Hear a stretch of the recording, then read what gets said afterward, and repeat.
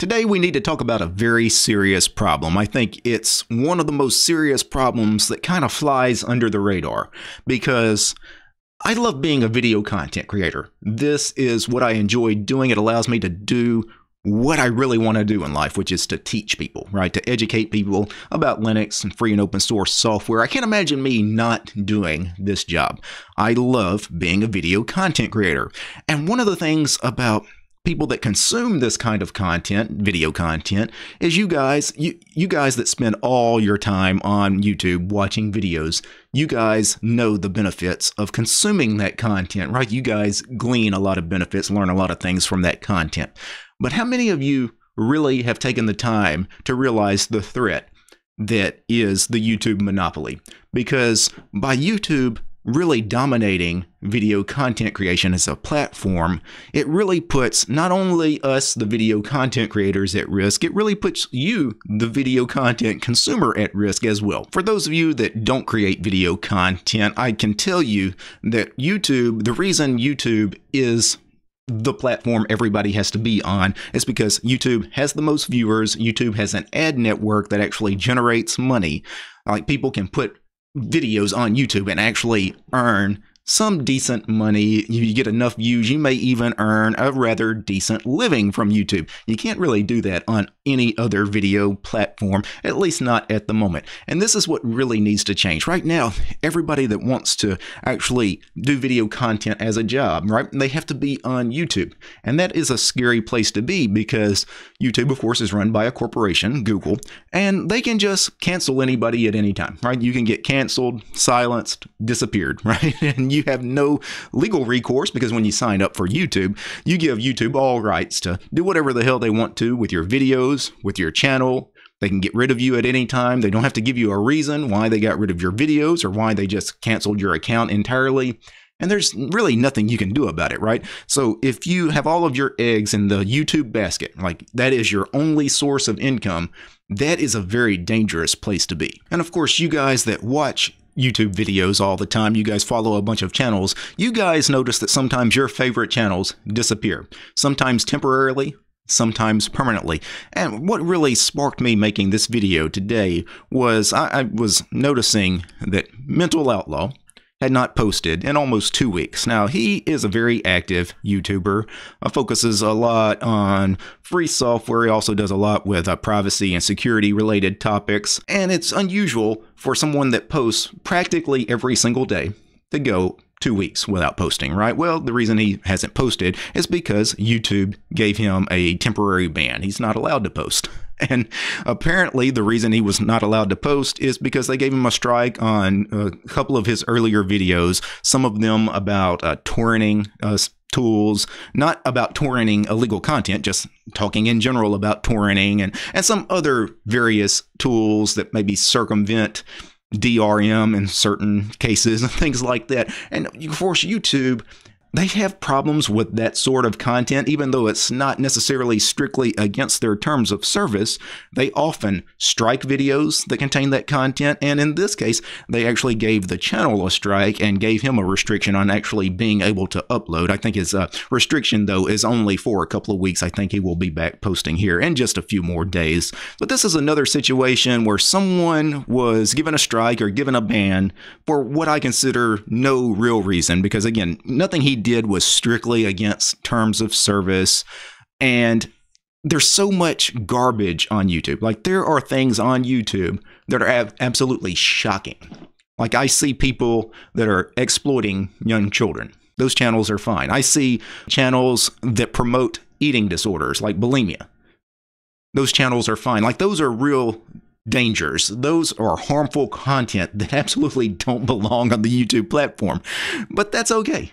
But telling somebody how to torrent a Linux ISO gets you striked. Uh, another one that happened recently, you guys remember, this was a few months back, the Linux experiment, had his channel completely deleted, permanently deleted, because he did violate the terms of service. I'll, I'll give YouTube a little credit here. He was running a, a giveaway, a product giveaway, which there are lottery laws and gambling laws in many parts of the world, including the US, where, of course, Google and YouTube are based out of. But many, many tech channels do product giveaways. There are certain rules you have to follow. And what he was doing really didn't seem that different than doing the same thing that every other tech channel does. But for some reason, they permanently deleted his channel. And he appealed.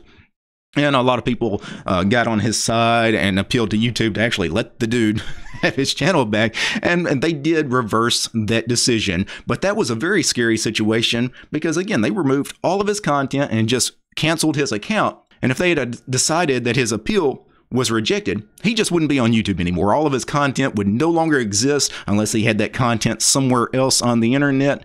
Another uh, Linux YouTuber that gets strikes all the time. Luke Smith. Now, Luke Smith does play around with some topics that he probably shouldn't because they do, again, I'll give YouTube a little credit, violate some terms of service.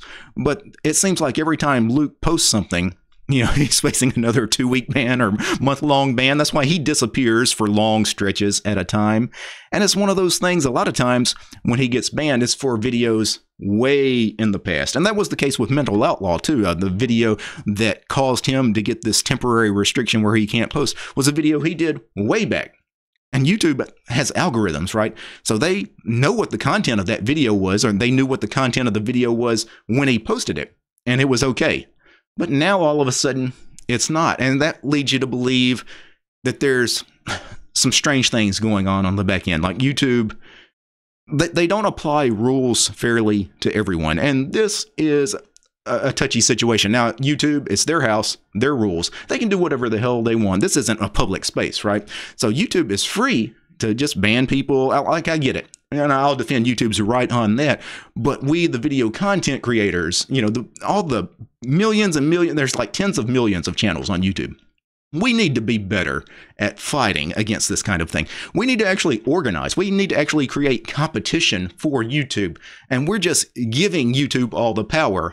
And YouTube is doing nothing. I mean, they pay for all the servers. I mean, obviously, YouTube spends a lot of money to host the video platform. But who's making all the content? We are, right?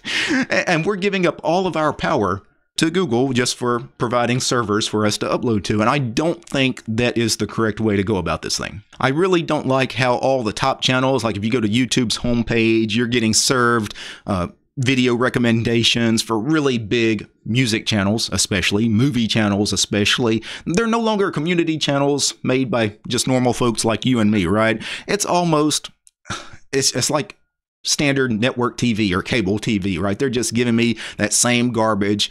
If I wanted to watch that garbage, I turn on my TV. I don't even own a TV because I don't want to watch that stuff. But now I get served that same stuff on YouTube where maybe I just want to watch normal people talk about whatever the hell's on their mind. But you don't get recommended that stuff anymore, right? I, I, get recommended music videos, and the music videos are insane. I get recommended music videos, you know, these female rappers that are rapping about how wet their poo nanner nanner is. But that apparently does not violate YouTube's terms of service, right? But talking about how to torrent a Linux ISO. That violates their terms of service. I don't get it.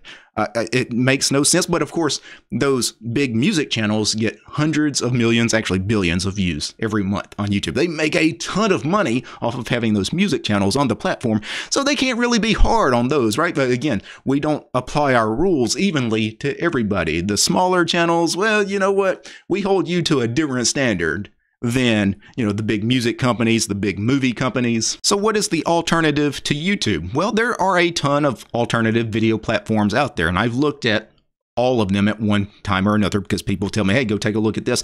And usually I take a look at them for about two minutes and realize they're garbage. Uh, there's video platforms out there. Many of them have the idea of being completely free as open free speech uh, you know no regulation no moderation at all and typically those platforms get overrun by the worst of the worst and i'm not going to name some of the video platforms out there that are like that but there are some that I wouldn't be caught dead on. I would never actively post my own videos there. People are free to post my videos there because my videos are Creative Commons. Anybody can post my videos on any platform they want go for it. But I'm not going to do that myself, and I'm certainly not going to recommend my viewers go to some of those platforms and have to deal with some of the hateful and, and just crazy garbage that are in the comment sections, especially on those platforms. But there is one alternative platform that I came across about two and a half years ago and immediately thought that has potential. And I signed up and I've promoted it heavily. I haven't talked about it in a while, but Odysee. I really think Odysee is a strong competitor to YouTube. And I've seen massive improvements in Odysee in the last two and a half years. Uh, when I first signed up Odysee, you couldn't comment on videos. This website, odysee.com, actually didn't exist. Back then, it was uh, lbry.tv because odysee.com, this website here, is actually a front end to the LBRY, the LBRY protocol. And it's blockchain based. They have their own cryptocurrency called LBRY credits. And what you do is you sign up for an account, you have to buy a little bit of LBRY credits just to get started. And then what you can do is you can go watch your favorite content creators over on Odysee. Maybe you want to watch uh, this latest video from this DistroTube guy, and you click on it you can watch his video, right? And, and yo, you can like, you can dislike, you can comment, and what you can do is you can also give me some LBRY credits, some LBRY credits. So they call it LBC for short. You'll have a little donate uh, button here. You can see it looks like I've generated uh, 115 LBCs on this video, but you can donate you know, a couple of LBCs to me. They're not worth much right now. The price of LBC is around, I think, three and a half cents or so.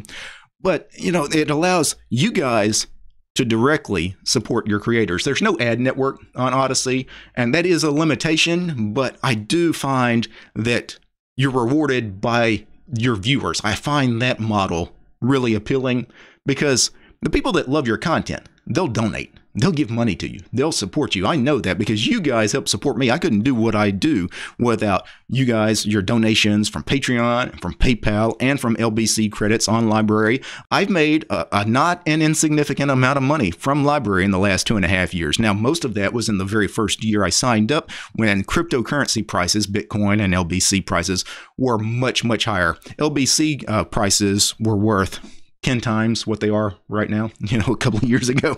So, unfortunately, I don't make any money on LBRY right now, you know, just pennies, right? I, I, it's not it's not something I could just put my content strictly on Odysee right now and make a living and get by and just say, you know what, screw YouTube. I'm not going to post there anymore. I have to be on YouTube.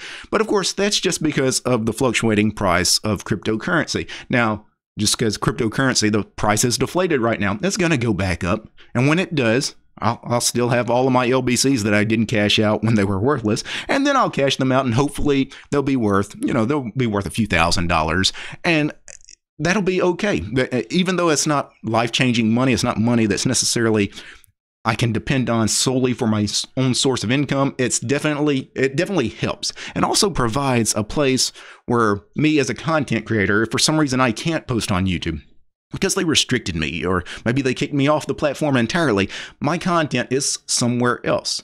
And people can go and find me. They don't have to ask, "Hey, what happened to Mental Outlaw or Linux Experiment?" And that was one of the things when those guys facing their bans is they're both on Odysee so you know you could actually go and get a video from them, and they can actually tell you what happened while they're not currently on YouTube. That way, you're not wondering because people naturally are invested in their favorite content creators. I can tell you when I don't post for a few days because I'm one of these really active people. I post almost every day, every other day. If I go more than three days without posting, something has happened. I can just go ahead and tell you that. That's usually that's only happened to me three or four times in the history of my channel where I went more than about three days without posting, and every single time was the result of a natural disaster. I've had two hurricanes and a severe uh, winter ice storm that caused me to miss like a week or a little more than a week of posting at a time, you know, on three different occasions. And people knew something was up because, you know, DT. He, he just doesn't all of a sudden stop posting, right? Something's wrong. And Odysee gives you a place where if the reason you're not posting because of YouTube restrictions, you know, you can at least go post on Odysee to let your viewers know what's up, to know that you're not severely ill or that you haven't passed away, because that's immediately what most people Uh, tend to go to. They tend to go to the really bad stuff, right? Well, something must have happened. And at least you can alleviate those fears. Now, I mentioned that Odysee has grown tremendously in the last two and a half years. When I signed up, it was very, very early days. There weren't that many people on the platform. And you can see I've got, you know, 42,000 followers on Odysee. That is an enormous number right, for an alternative video platform. And people actually watch my videos. I mean, the last video I made yesterday, you know, got 1,100 views. That's not great, right? That's a fraction of the views I got on YouTube. That's probably 5% of the views on that video that I got on YouTube. But still, 5% of the views I got on YouTube for an alternative platform, that's actually not bad because there's many video platforms I could post that video to that would never see any views. And when I clicked on that video, you saw that people donated 115 LBC to help me out on that video. And at three and a half cents, I, you know, I made about four bucks from people on that video. That's not great money, right? You know, I'm going to make a lot more money on that video as posted on YouTube because of the AdSense revenue, but still, four bucks, I'll take it, right? That's something. You know, there's many video platforms you're not going to make anything posting your videos to. When I signed up two and a half years ago, the only channels on Odysee were crypto channels and Linux free and open source software channels. And the reason for that is the crypto channels all got banned from YouTube. YouTube one day woke up and said, We hate crypto because everything about crypto is a scam. We're going to ban everybody that does crypto on YouTube. So they had to go somewhere, and Odysee was, I guess, the place where they chose to go because it's blockchain based and has its own crypto. So it made sense. Well, we'll all go to Odysee, right? And the free and open source channels, like me, in the early days, you saw Lunduke promoted Odysee uh, heavily. He's not on here anymore. He left because of ideological reasons. Uh, I know Gardiner Bryant's on here, Brody Robertson's on here. Many many of the free and open source Linuxy channels that you guys watch on YouTube are probably here. And the reason those channels are here, of course, is because Odysee and the LBRY protocol is all free and open source software. So it makes sense to be on a free and open source platform, right? We have to post to YouTube because if you want to spread a message of free and open source software, you want to spread it to the people that have never heard the message and that are on the proprietary platforms, right? So if I want to change hearts and minds, I need to tell people on YouTube about free software. But at the same time, once I've converted some of those people over to free software, it'd be nice if there was a free software platform that they could actually watch my content on and that's Odysee. And for those of you that haven't heard of Odysee, I should explain exactly how big Odysee has gotten here in the last couple of years. if I go to uh, this website, LBRYnomics, that has some uh, information about the number of channels and the views and things like that. It gives you analytics, some statistics about the entire platform, the number of channels. And if I look at the current value, I guess it's the total number of channels 1,353,391 channels as of when this last graph was taken. You can see the growth. 1.3 million channels. That is not an insignificant number of channels, right? For an alternative video platform to YouTube. That's crazy. And if I go to the top channels, this is like the top uh, 100 or 200 channels on the platform. If I just uh, take a look at, you know, the top 20 or 30 channels here, you will see names of stuff. Now, the first few mainly are Odysee LBRY related channels, but then you get to channels that you guys know on YouTube, big channels like uh, Veritasium, um, Minute Physics is here, Jordan Peterson, Styx Hexenhammer, Naomi Brockwell. I scroll down a little further, uh, you see that uh, DistroTube guy here again. So you got a, a lot of creators that you're probably following on YouTube on this platform, on the Odysee platform. Now, for some reason, we're still not getting the kind of traction with Odysee that I think it deserves. I mean, obviously, it's exploding in popularity. I showed you some of the graphs. This is the alternative to YouTube, but it's still it still pales in comparison to YouTube, right? As far as channels and views and the people that are consuming content, it's because we haven't pushed it enough, right? It's still this nerdy thing that the only people that are there are the people that are either disgruntled with YouTube or the free software champions like myself, right? We need to push more people to actually use this platform. If you're a video content creator, you have absolutely no excuse not to be posting your videos to Odysee. And the reason I say that is because it requires absolutely no work on your part. I don't do anything to have my videos posted on Odysee. I went to the Odysee page, uh, the odysee.com page, and I told it to sync my YouTube channel to Odysee. That's it. When I post to YouTube, Odysee knows about it. They they grab that video and it, they automatically upload it. I don't have to do that. I don't have to sit there and wait for another video to upload because those upload upload times take a long time. You know, it's a pain. Like if I had to do what I do on YouTube in multiple different places, you know, it's a lot of work. It's time consuming. Odysee makes it easy. Just go sign up. Tell it you want to sync to your channel, and it's done and you'll make money because people are going to donate LBCs to you. It makes no sense. Like, no one has any excuse not to have their channel synced to Odysee. And I see way too many of us that complain about YouTube, including me, but you guys in the comments, so many YouTube channels complain about it. Most YouTube creators have serious problems with YouTube. I can tell you that from talking to a bunch of YouTube creators because I interact with, with you guys that also make video content. We've all had problems dealing with YouTube. But what are we doing about it? Well, what I suggest is even though Odysee is exploding in popularity, it's doing fine. We need to do better getting the community involved. I'm talking about you guys that consume the content because you guys are the ones that can make a difference. Many YouTube content creators have still never heard of Odysee. They don't know it exists. If you are watching this video right now, what I want you to do is go check out some of your favorite content creators. See if they also have a channel synced to Odysee. If they don't, let them know. And if it's a, a big channel, of course, your comments could get missed. So, what I would suggest is, is take the time to find a few content creators that you interact with that you actually can have some direct line of conversation with because you interact with them. They typically respond to you on Twitter or, you know, Mastodon, whatever social media, Reddit. Maybe you're in their Discord. Maybe they have a web form. You know, maybe you are subscribe to their Patreon and let these content creators know about Odysee. Hey, have you heard about it? You know, point them to this video, let them know that they can sync their channel with no work, nothing, there's no work involved at all, and they will automatically have their content mirrored somewhere else that's not YouTube. And they may want that simply for the fact that if something happened to YouTube, if YouTube just blew up one day and didn't exist, where's all their content? Well, if they had their content synced to Odysee, well, when YouTube dies, well, all their content, all their videos are still on Odysee. I think most content creators would sign up simply for the fact that they would have a backup of their videos. But again, it eventually could prove to be the place where it's it's the de facto video platform at some point. I could envision a world where that's the case. That's not far fetched because of the way YouTube is going. YouTube is actively pushing people away from its platform. I see that. There are video content creators that make a lot of money on YouTube that hate the platform, right? And we just need something else that would provide us an opportunity to make the same kind of money that we can make on YouTube. Odysee is not quite there yet, but again, there's not that many people on it, even though it's exploded in popularity. I think it's easily the best alternative platform for YouTube. It definitely stands out from the others.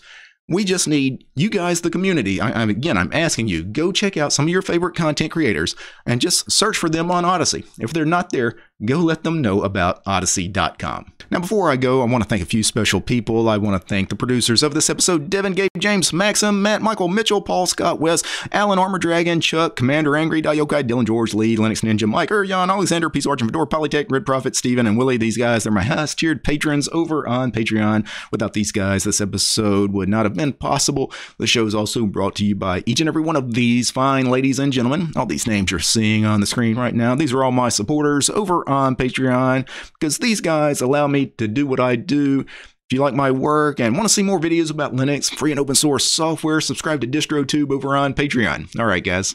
Peace. Chris Titus is on Odysee. Tech Hut is on Odysee. Tech Lore is on Odysee.